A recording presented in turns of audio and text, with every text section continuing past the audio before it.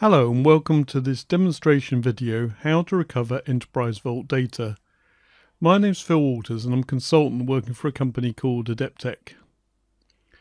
So in this video what we're going to do is we're going to archive some items and then we're going to restore a previous backup of all the SQL databases. This will cause a number of things to fail. If you want to understand the background to what we're going to cover then there is a previous video that you should check out on the YouTube channel. So first of all, I'm on the admin console, and what I'm going to do is to archive a number of items for a particular user. So choose run now, and I'm going to do archiving, and I'm going to do selecting mailboxes and archive all items for a user called Diana Palmer.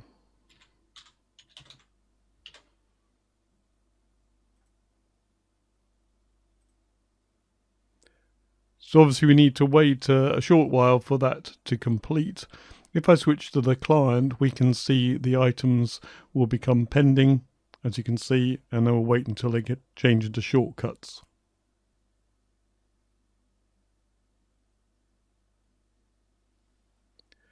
So as you can see, all those items are now turned into a shortcut. So let's just open one of them to check that it opens successfully. So it does. And I'll just show you that the search client is working currently. Okay, so you can see the items that have been indexed. So what I'm going to do now is to go to my Enterprise Vault server. I'm going to close the console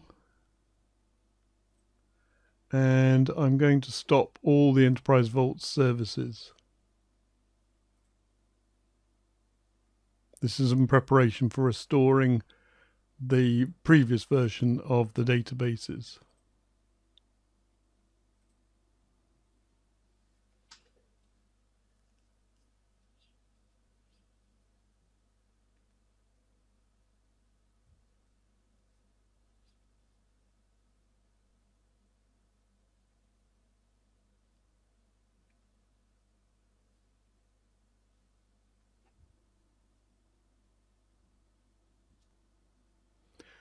Okay, we're now going to go to the SQL Server to restore a previous backup of the databases. So we're now on the SQL Server and we're running uh, SQL Server Management Studio. And what I want to do is restore each of the databases. So I'm going to do a restore the database. I've already got this backup that I did previously and I'm going to choose the option to overwrite the existing database and click OK.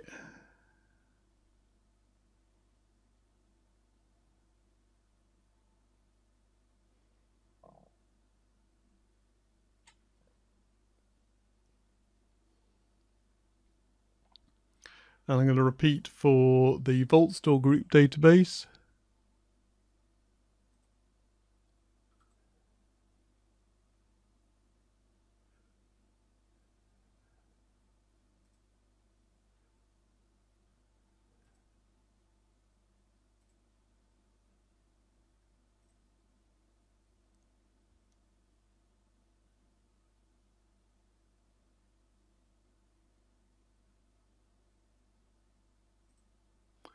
And for the information management database, which is a Vault Store database.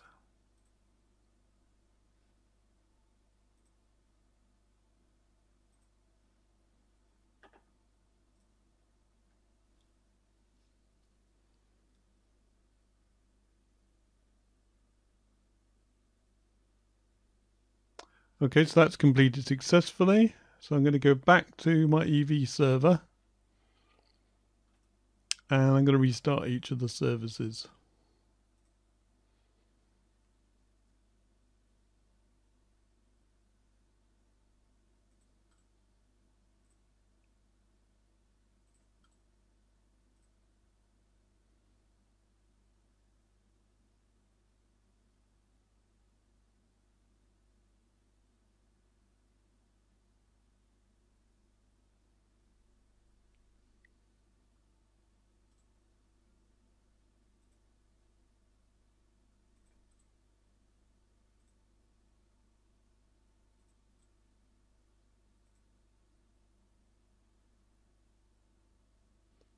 Okay, so let's go back to the client and see what's happened there. So let's go to the inbox and find one of the archived items and try and open it.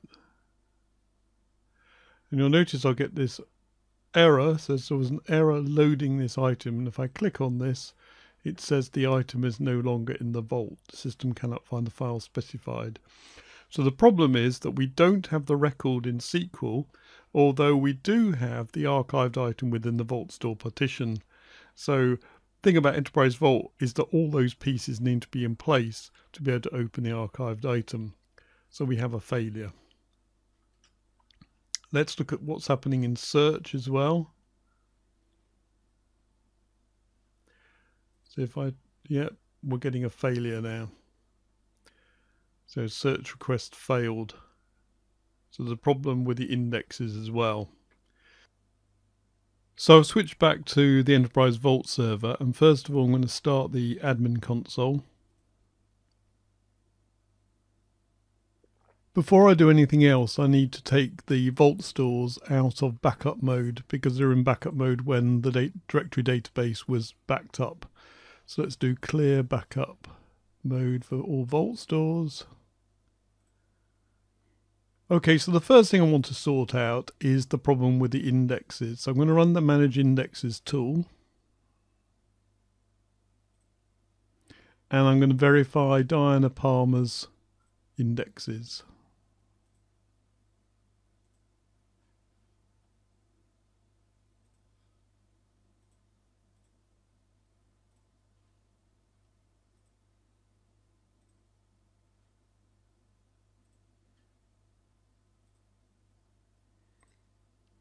So this is going to create a subtask. It's going to run under the index administration task. So I need to just change some settings for that task.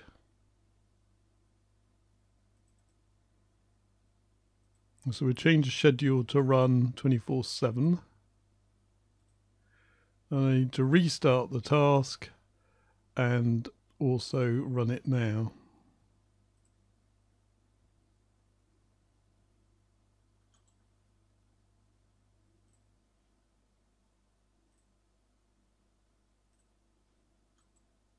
So we'll go to monitor indexes tasks and refresh. So you'll notice that one volume is fine, the 32-bit volume is okay, but the 64-bit volume has actually failed.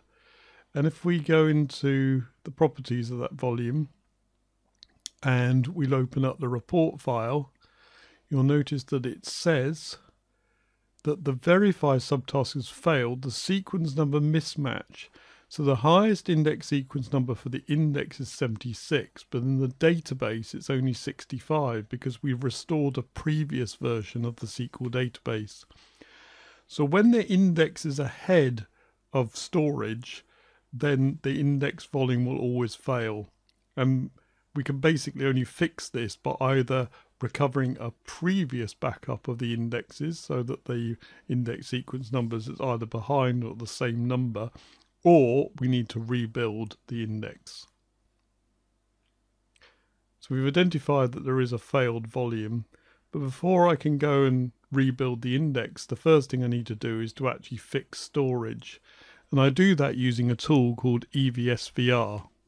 So what I need to do is to run up a command prompt as administrator. I am logged on as the service Vault Service account, which is required for this.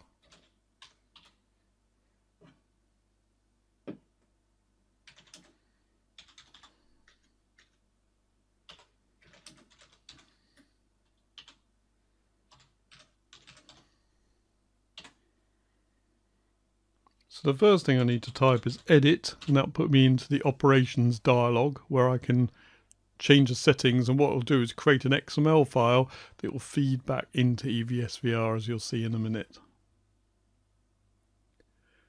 So what I want to do is to only process one Vault store. So I'm just going to say that I want to process the information management Vault store and all its partitions.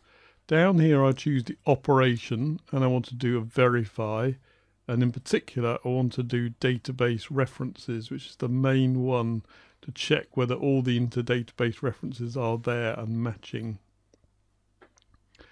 And then I'm going to save it as a file. And I'm going to call it verify.xml.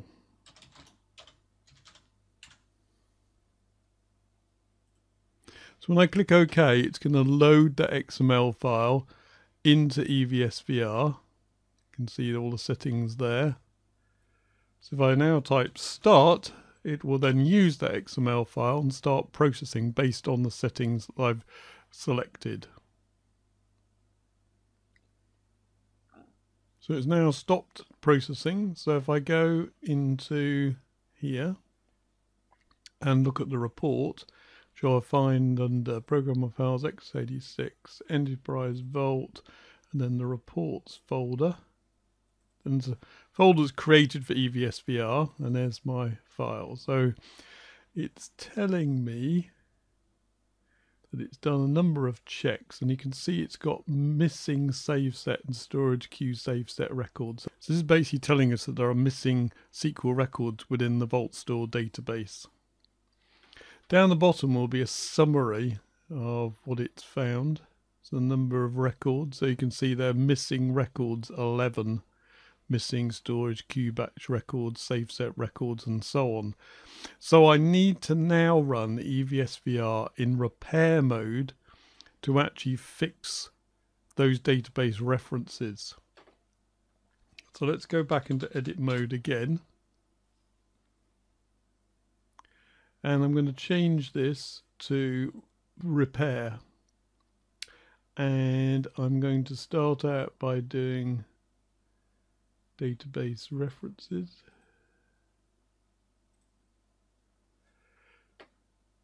And I'm going to save that as repair.xml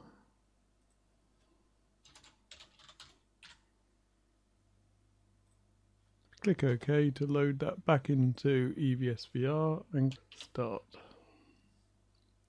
You'll notice that it fails almost immediately and if I was to look into the report file it would tell me that I need to be in backup mode to run a repair. So let's just do that. And you need to do it on all vault stores. So let's do set backup mode on all vault stores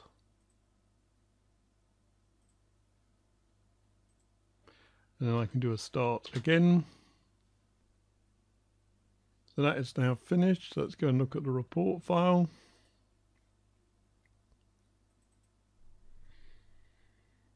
This is telling me that it's corrected the missing save set records and so on, recreated them. And it's always a good idea to go right to the bottom of the file and in this particular case, there's some, some advice as to what to do next. It says repair completed, but it's also recommending that I run a repair database linkages operation on the same data set. So let's do that now. Go back into edit mode again and change this now to database linkages.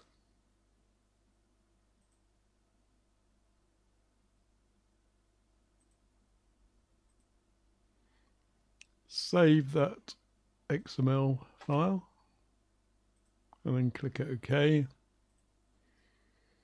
and run it again.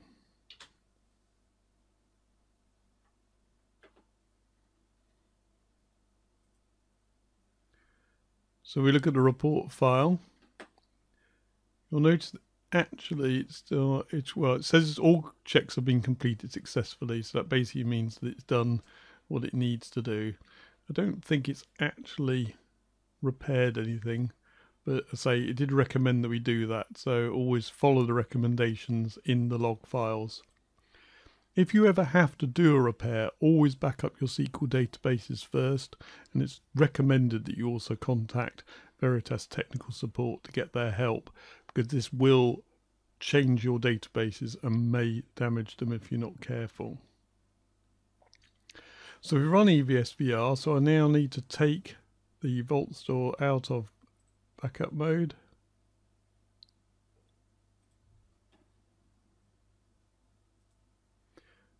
So let's switch over to the client again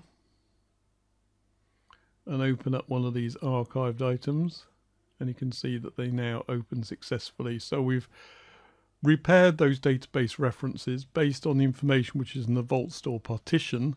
So everything is now functioning okay. So that brings to the end of this demonstration video about how to recover Enterprise Vault data. Many thanks for listening.